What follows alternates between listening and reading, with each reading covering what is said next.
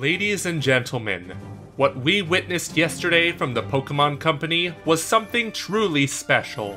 Somehow, it didn't live up to our expectations, and yet, it also did. Pokemon Let's Go Pikachu and Let's Go Eevee represent change for the Pokemon series, and while some fans may have expressed concern with this strategy, we're here to tell you why these games are beneficial for both old fans and new ones. This is Inside Pokemon Switch.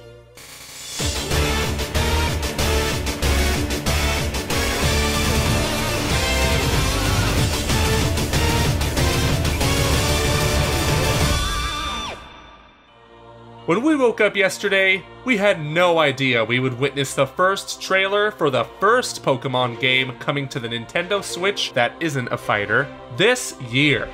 Though it isn't the same Pokemon game Tsunekazu Ishihara mentioned at last year's E3, we still received confirmation that that game will be coming in 2019. So if you aren't totally sold on the concept of Let's Go Pikachu and Let's Go Eevee, relax. You'll be getting a more ambitious title come next year. Let's Go Pikachu and Eevee act as Gen 1 remakes, with Pokemon Go elements thrown into the mix. Considering Pokemon Yellow will be celebrating its 20th anniversary in September, the timing for this is appropriate.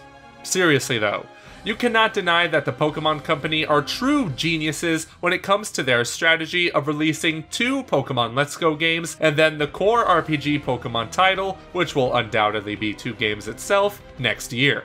The existence of these Let's Go games can all be linked back to the gargantuan success of Pokemon Go, which reached over 800 million downloads since its release in 2016.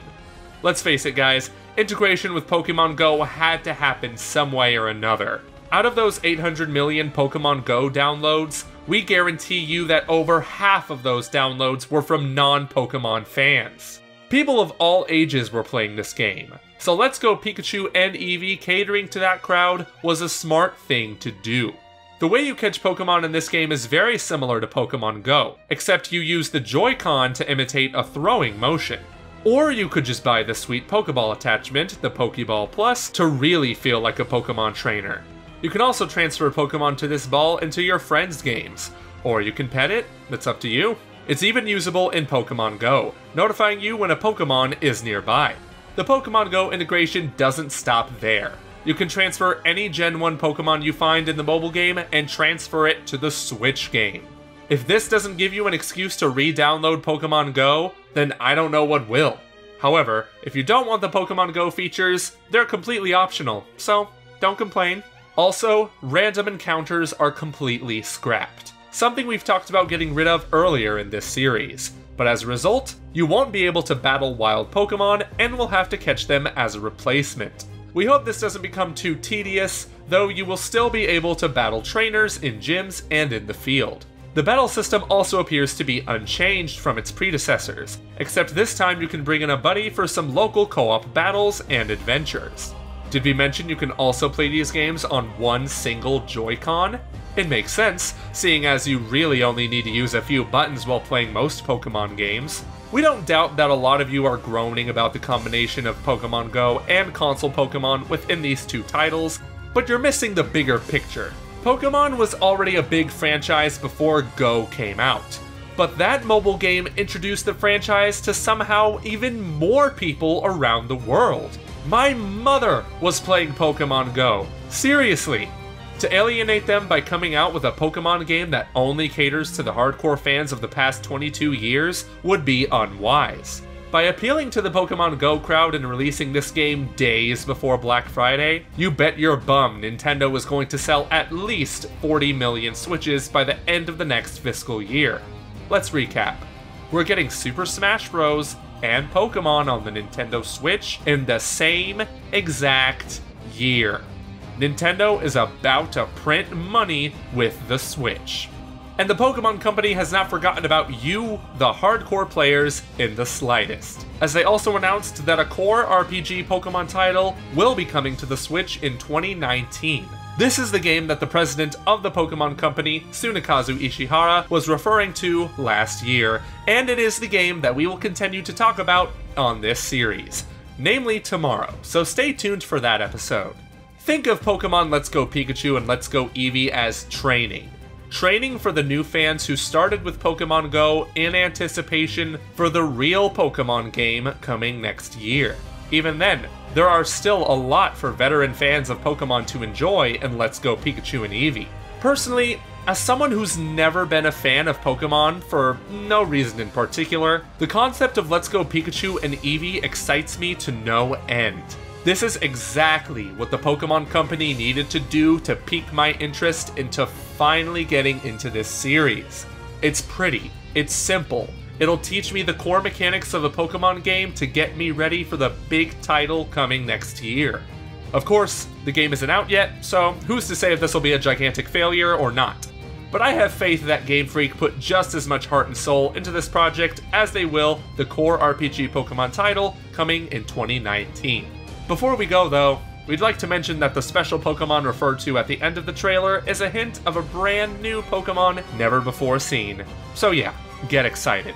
Joseph, you forgot to talk about the Pokeball Plus, which is an additional peripheral that will allow you to bring your Pokemon with you in a Pokeball on the go for the net price of 50 US dollars. Oh boy, Pokemon Company and Nintendo, you will make so much money on this thing.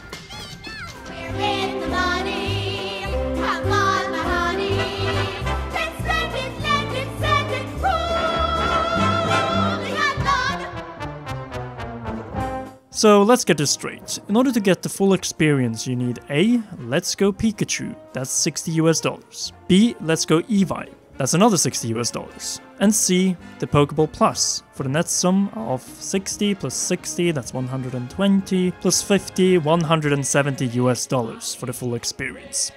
Please take all my money.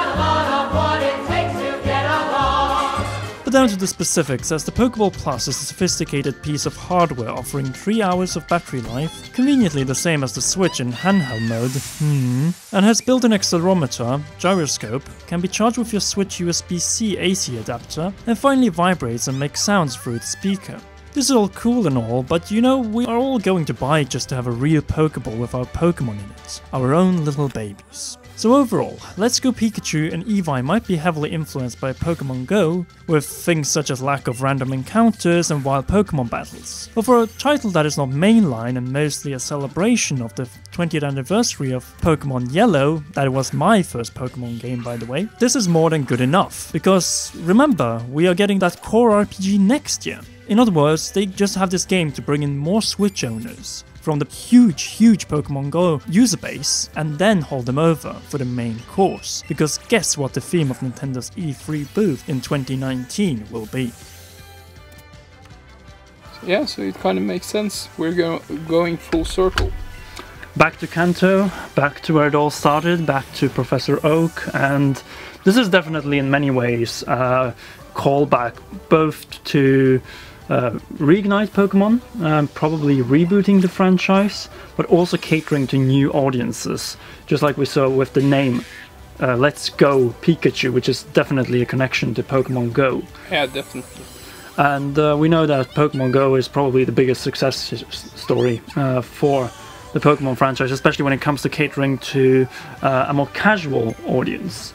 Yeah. Yeah, we even had our, our Prime Minister playing the game. Yeah, we do. So there's no surprise here. Also know that uh, the Pokemon Company, uh, with the Switch, have been uh, wanting to change a lot Yeah, recently because uh, they've been stuck with the same formula for over 20 years now.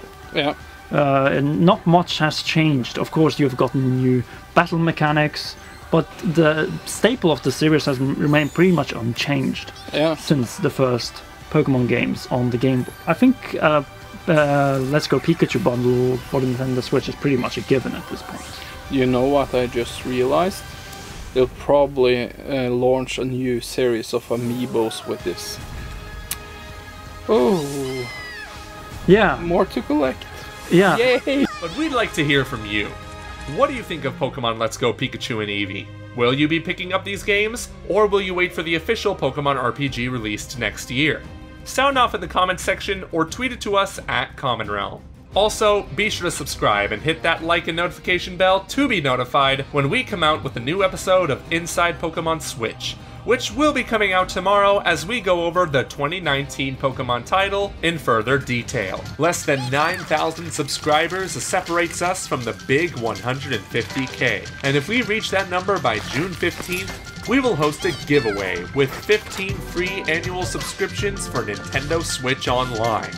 We'd also like to thank our patrons, including royal producer Kenyatta Ali, for all their contributions to the realm. If you'd like to support us more in exchange for some awesome perks and swag, then visit patreon.com slash commonrealm. In the meantime, girls and guys, get ready to catch 'em all, as we will see you tomorrow.